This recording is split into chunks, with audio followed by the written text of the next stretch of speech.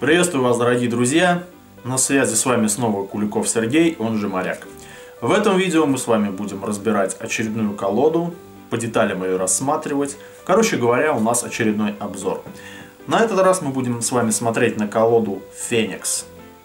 А, прежде чем мы перейдем к обзору этой колоды, я хочу отдельно поблагодарить магазин 54 Cards за то, что предоставили эту колоду для обзора на канале Моряка.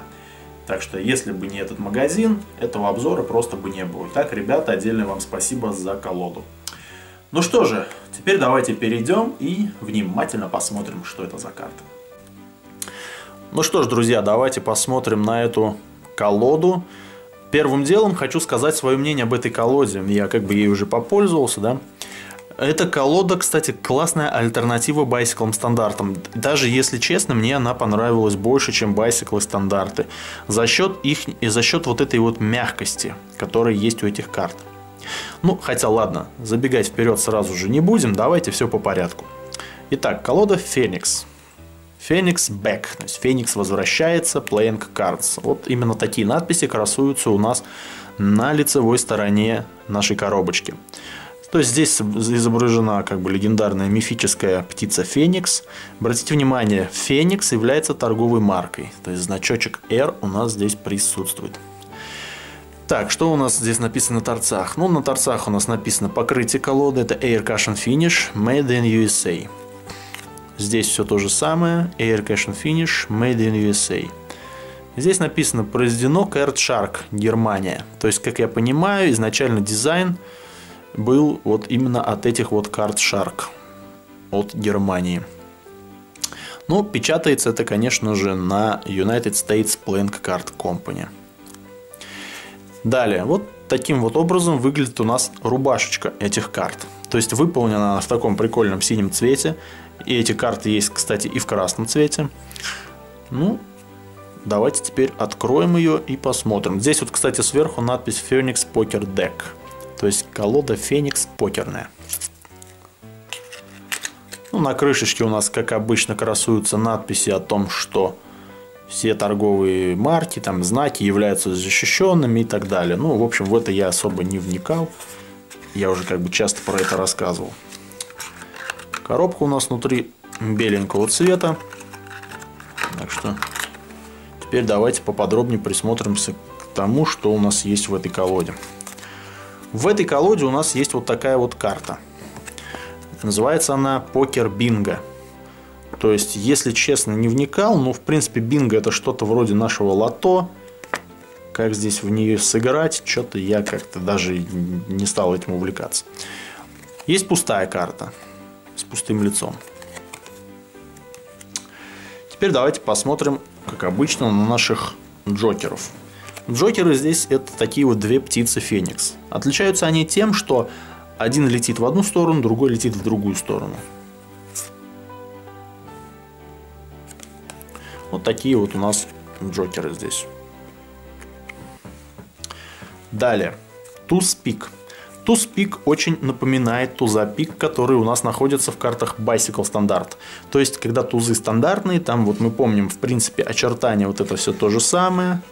Только единственное, что там стоит женщина, да, а здесь у нас как раз вот эта вот птица Феникс находится по центру. Сверху, соответственно, надпись Феникс, Master Edition, Finest Poker Playing Cards. Вот такие вот здесь у нас надписи. Сразу давайте на рубашечку посмотрим. С рубашкой у нас ничего замысловатого нету, просто красивенькие такие узорчики. Такие вот какие-то ветви у нас растут со всех сторон. И вот здесь вот по центру птица Феникс. Точнее, две птицы Феникс. Ну, как обычно, рубашка как бы сама себя зеркалит. Вот такая вот прикольная рубашка у этих карт. Все остальное здесь почти все. Классическое. То есть цвета, шрифты индексов, все то же самое – то есть изображение старших карт, то есть валеты, дамы, короли, все то же самое. Но вот что здесь отличительная особенность, так это изображение тузов. Здесь все тузы чуточку, ну как бы не то что чуточку, но раза, наверное, в два с половиной, в отличие от стандартов, увеличены.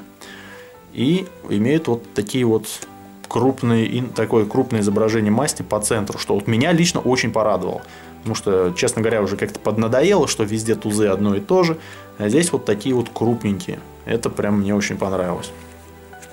Цвета красные те же самые классические, то есть нет никаких затемнений, как на, стан... как на всяких монархах, там, как на картах от теории 11, короче. То есть ничего этого нету, цвета такие классические красные. То есть вот пора внимание, у нас третий туз такой же. Здесь лица классика.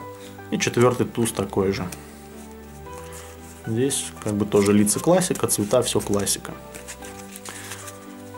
Вот чем мне понравилось еще, чем мне понравились также эти карты, так это тем, что здесь вот такие вот крупные тузы.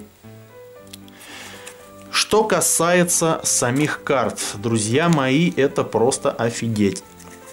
Когда я взял эти карты, когда я попробовал с ними что-то поделать, то есть они контролируются просто идеально. То есть они, во-первых, мягенькие и эластичные. То есть здесь нет вот этой вот какой-то дубоватости, как на байсиклах. Э, Чем мне еще, вот сразу, когда взял эти карты в руки, почему-то по качеству вот этого материала, да, вот самих карт, я вспомнил колоду Blue Crown. Вот, по-моему, точно такие же ощущения у меня были тактильные, да, то есть, когда я держал в руках Blue Crown. То есть, контроль вот, вот каждой карты, вот, вот эта мягкость, все вот это здесь присутствует. То есть не надо особо как-то напрягаться и их разрабатывать, например, как байсиклы стандарты, да, то есть все тасовочки сразу идут прям хорошо. Ну, считаю, за счет Air Cushion Finish, конечно же, у нас классное скольжение. То есть веера, все это раскладывается просто изумительно. Соответственно, всякие ленты тоже раскладываются хорошо. В общем, друзья мои, как альтернативу байсиклам стандартам, я вам советую эту колоду. Просто вот поверьте, поработав с ней немножечко, вы ее просто полюбите. Это просто обалденные карты.